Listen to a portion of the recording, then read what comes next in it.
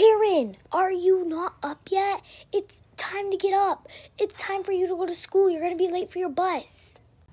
Nobody tells Karen what to do. Okay, Karen, I'll give you five more minutes. I'm going to go get your sister up. Baron, wake up. You're going to be late for school. Nobody tells Baron what to do. Okay, I'll get your sister up. Karen, I gave you five minutes. Now get up and go get ready. Uh, fine. Fine.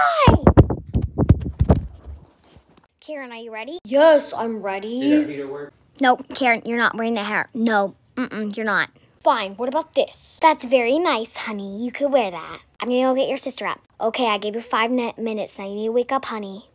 Fine.